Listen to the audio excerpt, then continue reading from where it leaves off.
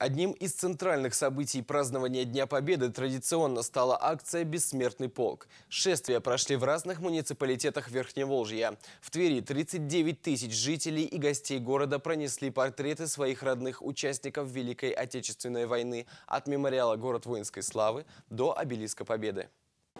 В шествии в Твери приняли участие ветераны Великой Отечественной войны Иван Евгеньевич Кладкевич, Иван Михайлович Авинников, руководители Верхневолжья и областного центра, представители органов власти федерального, регионального и муниципального уровней. Губернатор, который нес портрет своего деда Михаила Михайловича Рудени, отметил, что бессмертный полк – это возможность прикоснуться к истории своей семьи. С ним были полностью согласны все участники шествия. Здесь каждый готов рассказать историю своего отца, деда, прадеда. Черняев Павел Петрович воевал э, всю войну с 41 года по 45 год и э, на севере э, при Балтике.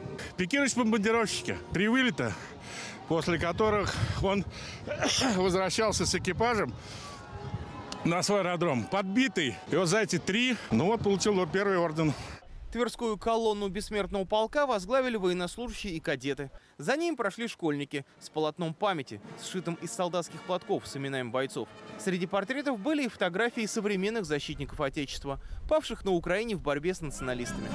Завершилось шествие бессмертного полка здесь, на площади Победы. Несмотря на низкие свинцовые тучи, несмотря на пронизывающий северный ветер, послушать и попеть песни фронтовых лет сюда пришли тысячи тверичан.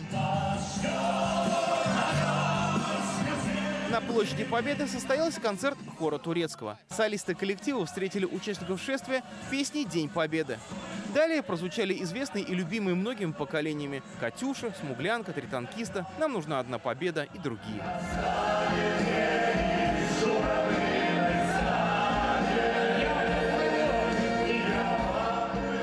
Профессиональным исполнителям вовсю подпевали все собравшиеся на площади. Люди отмечали, что это так важно возобновить традицию живого шествия бессмертного полка. Мне кажется, это очень важно для каждого человека, для каждой семьи.